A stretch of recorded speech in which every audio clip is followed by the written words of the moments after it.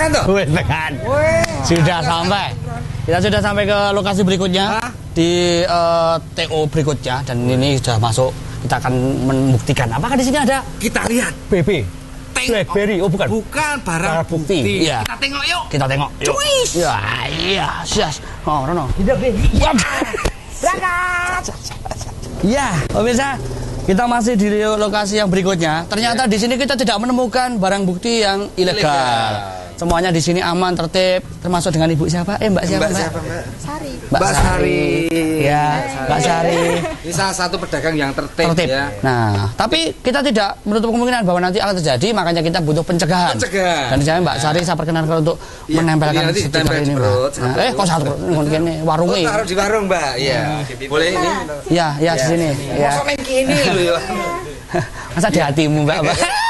Ini Mbak Sari ini salah satu pedagang yang tertibnya Tertib. luar biasa sekali. Iya. Beliau sangat Iya. menjual produk-produk yang bercukai resmi. Iya. ya. Jadi ini patut dicontoh buat para pedagang lainnya. Jangan terkecoh dengan harga yang murah, tetapi terkecohlah dengan uh, Pedagangnya yang Aduh, hai. Aduh. Saya tempel juga ini pemberitahuan mari kita amankan penerimaan negara dari sektor cukai dengan cara berpartisipasi dalam pemberantasan rokok ilegal. Iya. Satu ini mau lagi. Tempel di mana? Di mobil? Ya, ntar Masih satu pedagang Satu lagi sini sekali. satu. Nah. Di sini ada kontribusi dari pedagangnya, Mbak. Dilarang menawarkan itu berarti jenengan. Nah, jadi nanti kalau sama ini juga antisipasi buat Mbak Sari. Nanti kalau ada sales-salesnya yang datang ke sini, boleh minta sampelnya tadi Ya. Pak? Ini, ini Pak. Contoh-contoh. Ini Contoh-contohnya. contoh-contohnya. Nah, ini Mbak.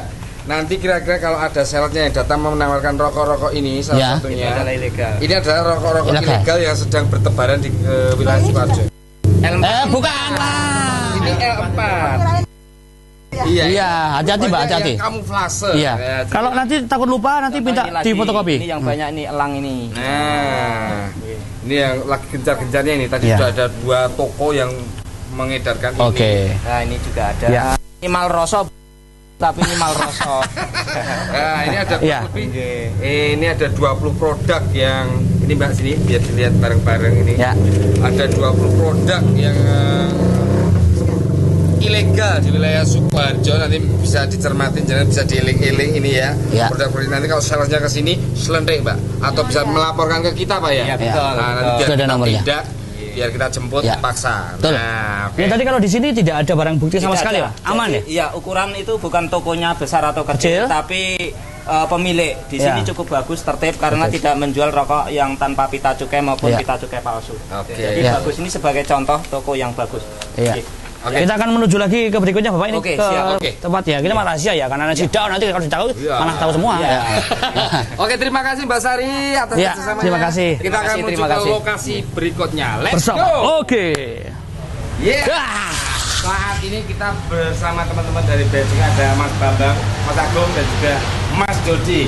Tadi juga turut serta di acara sidang mengenai produk-produk rokok yang ilegal Nah. tanpa pita cukai. Nah, ini Kalau tadi kita sudah berbicara dengan banyak pakar dari Satpol PP juga tentang apa kegiatan ini pentingnya apa seperti apa. Sekarang kita kan juga belum tahu tentang biaya cukai. Ini pentingnya seperti apa? Bentuknya seperti apa? Terus prosesnya seperti apa? Nah, kita tanya-tanya sama Mas Agung Bambang dan Mas Dodi ini. Gimana Mas Agung? Jadi gini, rokok itu merupakan barang kena cukai Ya. ya. BKC. DKC. BKC itu ada tiga. Sebenarnya saya terangkan dari awal dulu. Hasil tembakau, minuman mengandung alkohol, Alkohol. dan etil alkohol. Namun kita yang dua tidak bicarakan. Kita bicarakan khusus hasil tembakau. Hasil tembakau itu salah satunya adalah rokok. Rokok. Nah, rokok itu pel- pelunasan pita. Pelunasan cukainya dengan cara pelekatan pita cukai. Pel- Hmm. Artinya ketika rokok itu dilekati pita cukai berarti dia sudah bayar pajak. Nah, nah, begitu juga sebaliknya kalau ada rokok tanpa dilekati pita cukai berarti dia nggak bayar pajak. Sekarang apa pentingnya kita melakukan pemberantasan rokok-rokok ilegal?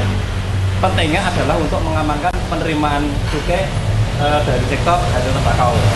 Jadi gini ya, logikanya kalau di masyarakat itu yang laku itu rokok-rokok yang tanpa pita, berarti di situ ada potensi penerimaan negara yang hilang. Nah, gitu. Karena tidak bayar cukai. betul. Jadi harapan kami kepada siapa pun, kepada masyarakat, kepada para pedagang supaya tidak lagi menerima mengedarkan rokok-rokok yang tanpa Tanpa cukai. karena merugikan negara. Jadi di situ tidak ada pajak yang dibayarkan ke negara. Yang seharusnya itu ada Masuk ke kas negara. masuk ke kas Ah. negara untuk pembangunan, Ah. Untuk membiayai negara Republik Indonesia itu salah satunya dari cukai. Perlu diketahui tahun ini penerimaan negara dari cukai itu 118 triliun. Us. Nah, kalau rokok-rokok seperti itu beredar, artinya masyarakat membeli rokoknya yang rokok-rokok ilegal itu bisa bisa membahayakan terhadap penerimaan cukai. Target yang se- seperti yang sejumlah 118 bisa jadi tidak tercapai. Oh. gitu. Jadi pentingnya di situ. Jadi harapan kami supaya kepada masyarakat, kepada para pedagang, pada para pengecer supaya tidak lagi menjual rokok-rokok ilegal, rokok-rokok yang Betul. tanpa tanpa, Tanpa cukai. cukai ataupun dengan pita cukai palsu. Ya. Berarti memang harus ada kerjasama antara Satpol PP dari pihak keamanan atau muspika setempat ya dan juga dari pihak cukai untuk Betul, betul sekali. selalu koordinasi, ya. dan terutama Betul. buat para pedagang Nah. kita himbau untuk pengertiannya Betul. kesadaran dirinya Ya pokoknya gini aja. Eh, kalau kredibilitas rokok-rokok yang belum kita kenal secara umum itu biasanya harus diwaspadai. Ya. Ya, kadang-kadang kan seperti tadi kita nggak tahu ini tiba-tiba ini merek kok merek apa ki, pol, merek apa iki ora kenal. Ada merek kok namanya Londo. Ah, itu apa wis. kok rokok pakai kredit emang enak Hah? Kredibilitas, maksud kredibilitas rokoknya itu loh. Wah, kredit kredit. rokok orang kredit Maleman Jadi itu ya Pak ya, Pak Agung. Betul, betul sekali. Mas, jadi mau nambahin Mas kira-kira? Oh, sudah cukup ya? jadi pastinya seperti itu ya buat kesadaran teman-teman juga Ya. Kenali itu kayak rokok yang asli dia ada hologramnya, ada kalau dikasih cahaya ada soal BRCE apa Pak? BCRI. BECRI. Ya. Karena apa? Di Pita Cukai itu merupakan hasil kas negara yang Betul. uh, didapatkan melalui cukai tembakau. Betul Nah, sekali. Jadi kalau Anda tidak membeli berarti Anda tidak ikut membangun negara. Dan jangan Bisa. jangan jangan terkecoh dengan pita cukai yang sablonan. Dan disertai dengan doa. Wah. Jadi Anda harus lebih awas lagi, waspadalah, waspadalah, waspada. Oke, sukses terus buat Indonesia. Kita bangun Indonesia dengan lebih luar biasa lagi. Yes. Ya. Apanya yang yes? Yes, pokoknya yes. Kita akhirnya finish juga Mas Londo. Setelah tadi kita keliling-keliling Kabupaten Sukoharjo, wih, sekarang sudah bersama Pak Sutarmo dan rekan-rekan yang tadi ikut jeda juga ya. Dan setelah kita melihat praktisinya, prakteknya, operasi bea cukai di rokok-rokok yang ilegal di tek-tek itu ya. Saya kita mau tanya-tanya pada Pak Sutarmo. Ini bagaimana kesimpulannya Pak? Ketika eh, sudah melaksanakan kegiatan ini tadi itu kira-kira apa yang bisa dicapai Pak? Ya ternyata sebagaimana diketahui tadi kan. Iya, Pak. Jadi eh, setelah menyaksikan beberapa toko itu ternyata masih dijumpai. Tadi sudah kita temukan sekitar 40 kan, 40 bungkus rokok yang tanpa dilekati pita cukai. Nah, ini berarti ilegal. Ilegal. Nah, nah, karena ilegal maka ini harus kita berantas, kita kurangi Ya. supaya tidak beredar menyebar ke mana-mana. Ya.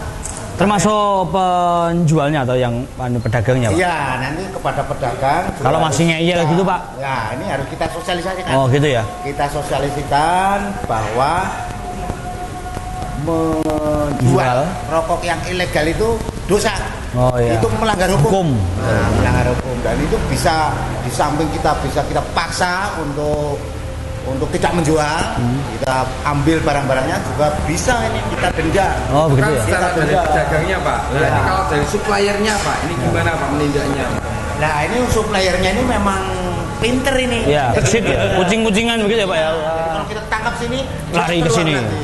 Nah ini memang harus ada kerjasama, Ya. ada kerjasama lintas sektoral karena bukan tidak mungkin Ya. ditemukan di Sukoharjo tapi produksinya di luar Sukoharjo. Nah, itu. ini yang- Jadi harapannya kalau di wilayah Sukarjo sendiri ini bagaimana, Pak? Untuk para pedagangnya, masyarakatnya, termasuk eh, apa mungkin lingkungannya sendiri bisa agar sadar tentang eh, penggunaan atau pembelian produk rokok ini yang resmi.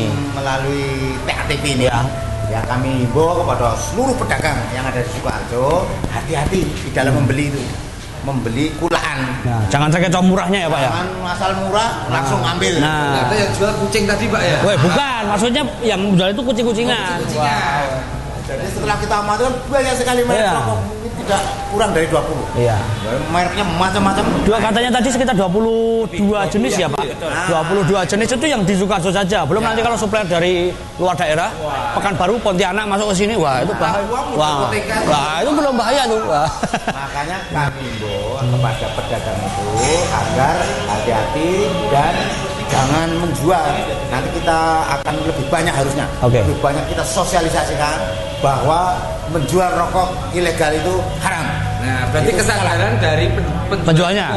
Sekarang kalau untuk masyarakatnya, pembelinya Pak. Nah, masyarakat juga penting. penting ini. Penting ini. Di samping merokok itu membunuhmu. Iya, Membunuhmu toh. betul Pak. Juga ya kalau memang belum bisa berhenti ya kita harus membeli yang legal-legal, Legal. yang ada, yang resmi. Yang resmi. Jangan yang ilegal. Karena Ya. ilegal itu nanti bisa juga loh rasanya enak. Tapi kita nggak tahu kadar-kadarnya di dalamnya. Isinya stres, bahaya, Bahaya. bahaya terhadap kesehatan. Ya. Sebab itu ya kepada masyarakat kami himbau, Ya. kalau memang belum bisa berhenti, angel tuh pak. Angel Pak. Iya Mas Da. Angel. Nah, Sadar sebab itu ya susah. harus membeli yang legal Legal. saja. Itu mas legalnya itu banyak. Iya. Gitu. Saya sudah mencoba mengurangi juga Pak. Nah itu bagus itu. Mengurangi punya teman saya kalau Ya itu bagus itu. Ya. Memang harus Bagus berjuang. Pak Yusri. bagus berjuang untuk, Untuk- mengurangi. betul. Nah, intinya pokoknya semua mulai dari pedagang, penjualnya, mari kita Sadar diri. Ya. Oke, Pak Sutarmo. Pokoknya ini semoga ini bukan hanya dalam kurun waktu yang jangkanya panjang ya, tapi setiap jangka pendek kita ada sidak terus, Betul. sosialisasi terus. Seperti tadi kita sudah penempelan stiker-stiker himbauan. Ini tujuannya baik agar semua masyarakat tahu, sadar. sadar tentang terus ya, sadar. Iya. Oke. Oke, gitu Pak Tarmo. Ya. nuwun Bapak, sekali lagi Ya. semoga Satpol PP Ya. selalu sigap Ya. untuk memberantas ke- keberadaan eh, produk-produk ilegal di Kabupaten Sukoharjo. Betul. Terima kasih buat Bapak Sukoharjo dan terima kasih buat Satpol PP dan juga terima kasih buat teman-teman dari Bea Cukai Sukoharjo. Kita akan kembali lagi di lain waktu dan kesempatan. Yeay.